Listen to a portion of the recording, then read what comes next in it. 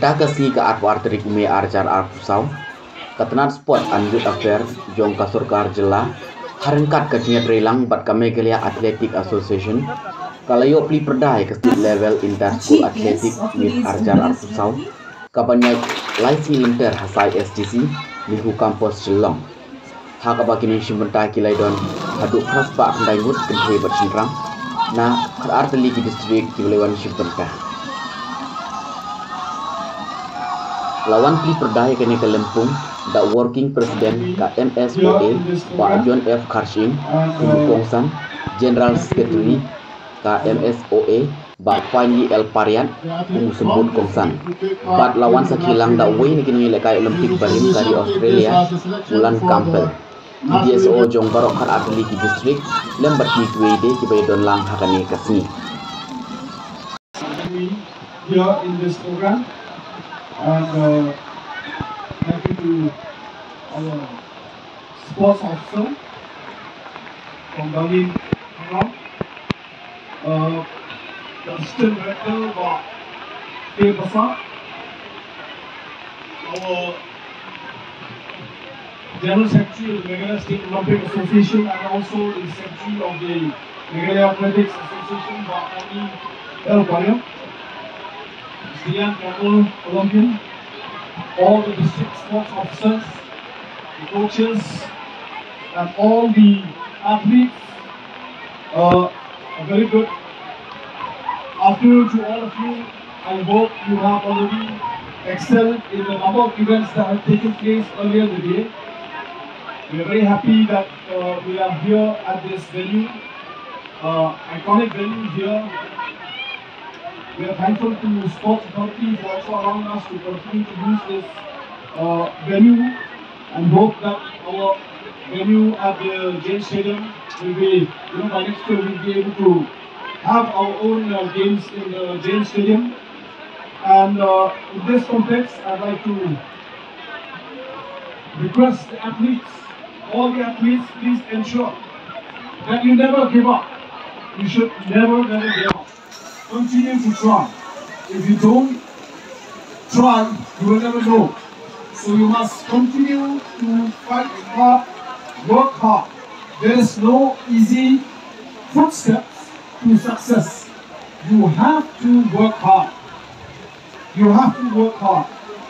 100% is not enough. As Mr. Young Campbell used to say, you need 150% hard work I'll repeat, 100% is not enough.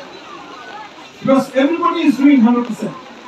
So you need to do 150% in here and in here. Remember that. Work hard. 150% work hard and you will definitely get the results. You will definitely get the results.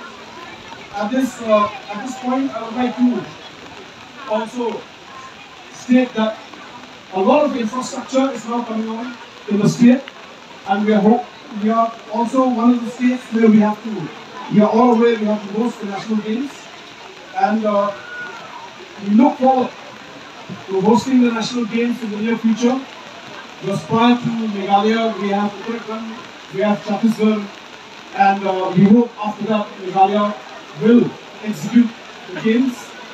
We are very happy that now in Meghalaya we have games.